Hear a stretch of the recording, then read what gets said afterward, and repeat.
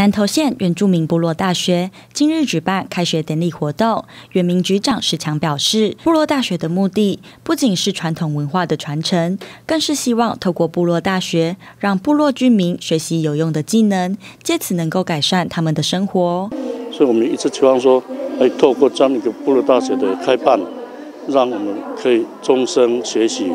哎，透过这样的一个大学，把我们的文化传承。呃，真的，因为有时候我们要。秉持着“呃，活到老学到老”这样的一个精髓，所以呃，不止在部落能够要在部落都有一个班，而且把这些哈最基础的文化的传承、语言，还有观光，还有农业，哦，最后还是健康，哦，这样的一系列的整个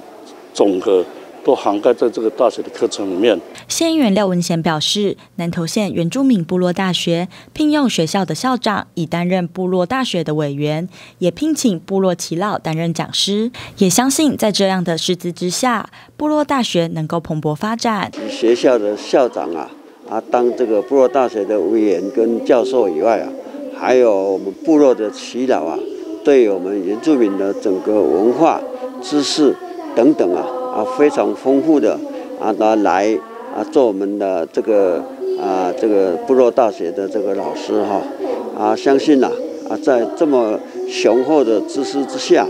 啊，我们这个啊这个部落大学啊啊能够整个下午啊。啊，能够蓬勃发展。县议员石庆龙表示，部落大学有别于一般大学，更贴近原住民的需求，因此部落大学的办理也能够让不管是山地或是平地的原住民朋友，都能够学习到有用的课程。有别于啊，我们一般啊社会大学哈，呃，另外啊一个等于是啊蛮啊。亲近啊，我们的原住民乡亲哈，最重要的就是啊，在部落大学方面啊呃举办呐啊，能够啊让我们啊南投县啊，不论在原乡或者是在平地啊居住的啊，我们的这个原住民的乡亲哈，老老少少啊，大家能够参与哈，去啊学习大家啊喜欢的这个。课程。副议长彭一全肯定南投县政府办理原住民部落大学，帮助部落文化传承的用心，也期许未来部落大学也能够将产业及观光推展结合课程来办理，帮助部落有更好的发展。记者陈伟一普里采访报道。